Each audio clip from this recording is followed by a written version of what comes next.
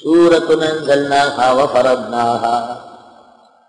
ये सूरत है जिसको हमने नाजिल किया और इसके मजामी को फरज किया। सूरत नाजिल भी हमने किया और इसके मजामी को हमने लाजिम किया। वाजलना फीहा आयात बैनात और उतारा इस वाज लालकुम तज़क्करून। तुम्हें सोचना चाहिए। अजानियत वजानी जिनाकार औरत और जिनाकार मर्द। जबकि ये शादीशुदा ना हो। कजलिजू कुल्लवा मारो हरे के उनमें सो कोड़े, सो भेद लगाओ है। कोड़ा लकड़ी का हो, उसके दस्ते को चमड़ा लगा हुआ हो। बहुत भारी ना हो, बहुत पतला ना हो।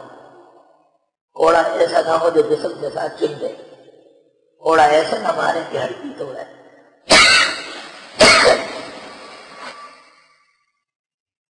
मर्द को खड़ा करके और खातून को बिठाकर हाथ जारी होगी हाथ में भी पर्दे का पर्दे का लिहाज। लेकिन अगर ये शादीशुदा हो तो फिर ये संसार होंगे। इनको ज़मीन में दम दफना के घुटनों तक नाफ तक, और फिर इनको पत्थर मारे जाएँगे। उस वक्त तक नहीं छोड़ेंगे जब तक मरेगा। और कोड़ों के लिए ज़रूरी नहीं कि वो मरे। अगर सौ कोड़े खा गए और फिर भी जानदार हो तो रहे। अमूमन सौ कोड़े एतदाल के साथ जो लगाए जाते हैं काफ़ी दिनों तक मुजमहल होता और कोई न कोई मर जाता सर पर मारना और ज़रूरी जिसम पर मारना, सख्त बना, उस दौरान काजी आके जल्लाद को हाथ से पकड़ लेता जब जल्लाद कोड़े लगाता है तो काजी साहब मौजूद रहते हैं और वो हर कोड़े पर उसको देता है तो आकीम वज़न बिल्कुल औसान है एतदाल है। अदल और इंसाफ की सजा है।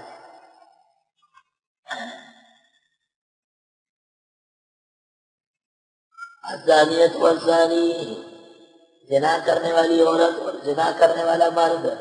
औरत को पहले ज़िक्र किया कि ये सबब बनती है वजह सिंफ नाजिक होने के।